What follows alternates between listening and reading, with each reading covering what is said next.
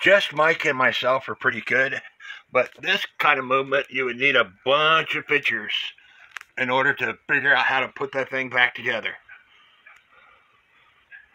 I think just Mike could do it a lot easier than I could, because uh, sometimes my pictures suck. But I think he's got two different phones, one to take pictures and one to do his video with.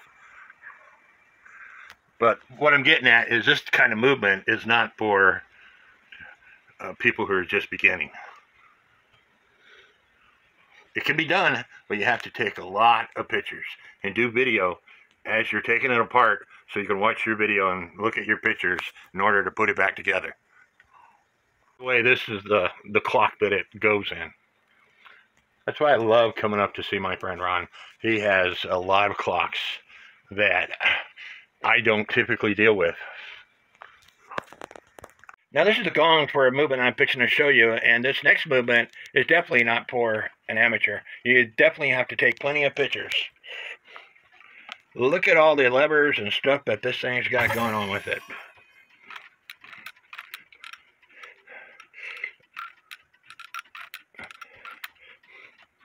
And look how thick these plates are. I'm fixing to get out a digital caliper and uh, see how thick these things are.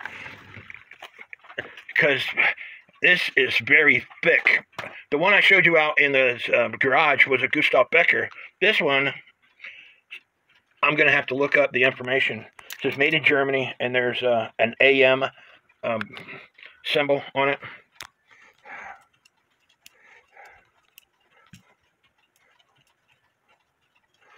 But these plates are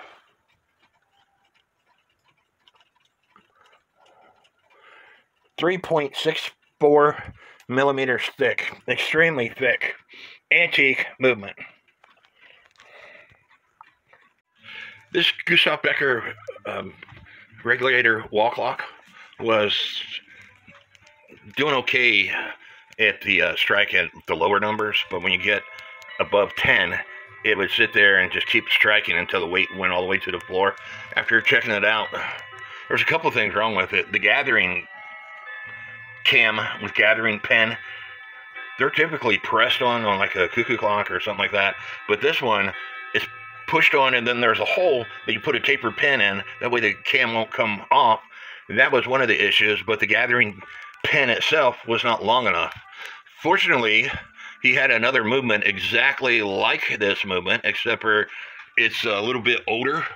And um, the I want to say that this is a P47 Gustav Becker movement, but the um, I took the gathering cam off the other movement that has a gathering pin and put on this one. P27. What, what's that, Ron? That movement's a P27. P27 is the movement, but um, We're looking for one but anyway, and yeah, we are. He's looking for one because he needs parts for the uh, for that one uh, that we took parts off of because it's also missing this piece up here that stops the rack from dropping as the gathering cam is lifting the rack.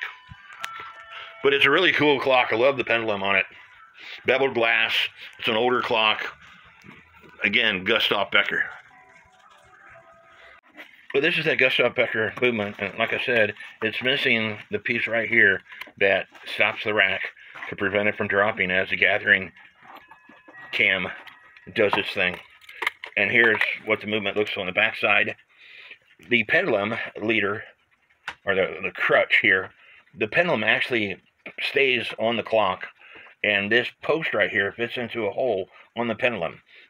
But as you can see, Gustav Becker and there's the serial number. This is 580787, where the other movement is a 581 movement. Sorry, this is 580784, where the other one is a 581 movement, meaning it's a later production movement. But if anybody has parts for this clock, my buddy is looking for this piece right here.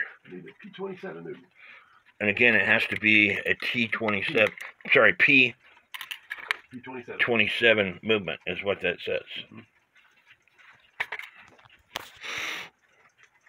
I'm giving this box of tools to uh, one of our associates, friends, who um, my buddy Ron has been helping out and repairing clocks. giving them clocks, and he's been doing a really good job. But he doesn't have a lot of tools. Eye loupe, similar to a Leatherman, bunch of screwdrivers, and this Rodico right here, I bought after I got back from the states back in 2000. 24 years later, and it still works. And they don't come packaged in containers. There's a piece right here. It still works. You could use it.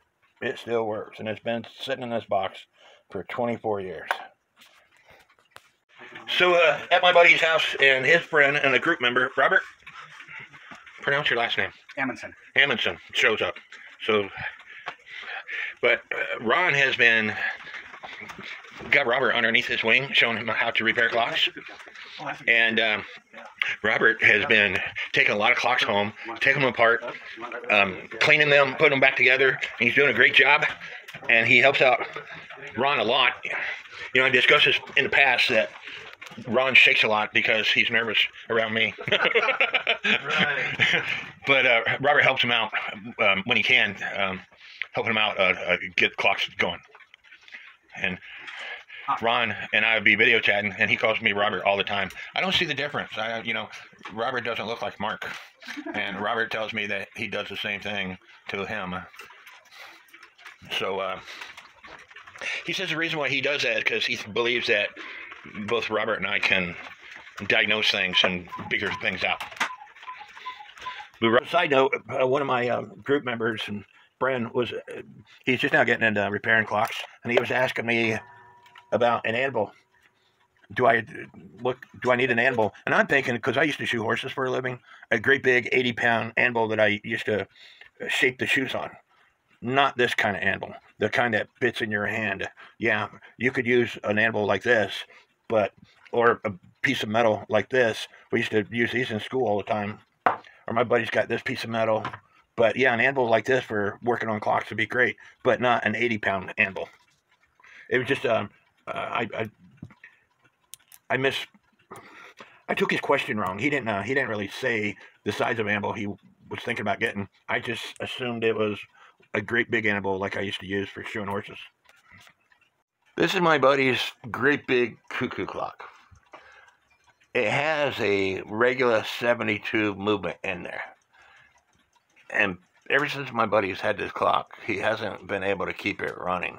And I told him you know, it's got a Regula 72 movement in it. It takes 1,700 gram weights or 1,750 gram weights. So, which he don't have, but he finally uh, uh took my advice and added some uh, 250 gram weights to the 1,500 gram weights, and it's been running all night. Um, they, the Regula 72 movements, as you all know, I think are a pain in the butt two different types, but this one has got that that cam on the back. I know because last time I was here, I took pictures of him. He took this clock off the wall, and we took pictures of him holding this clock. But it's a huge clock. But now he knows when he can afford it to buy some bigger weights for his clock, and it'll run all the time. I worked on quite a few clocks for my friend in the one full day that we worked on clocks. I got this one going for him. I see that he needs to move it over some because you can see that the arbor shaft is uh, touching the uh, dial. But uh, the strike, it was only striking one time, and that's because the rack, the hole that goes onto the post was dirty. Once I cleaned it up with a toothpick, it drops like it's supposed to. I worked on this uh, GK cuckoo clock going. Uh, we got that going for him. I did a function test. He's uh, letting the bellows dry we uh, didn't work on, but I told him what to do on this clock. Added weights. It's been running for 24 hours now. I worked on this uh, Thomas number 2 clock for him. I worked on that clock over there for him. This Bear novelty clock, and of course that uh, other novelty clock with the, with the um, owl. I got his uh, Daneker grandmother clock. It was out of beat, so that's ticking again. There's and we got this clock here ticking away for him. So we did quite a bit. Uh, the Lord blessed us in the time frame I was here. But my back is killing me, and tomorrow's going to be even worse. So it's time for me to head to the house.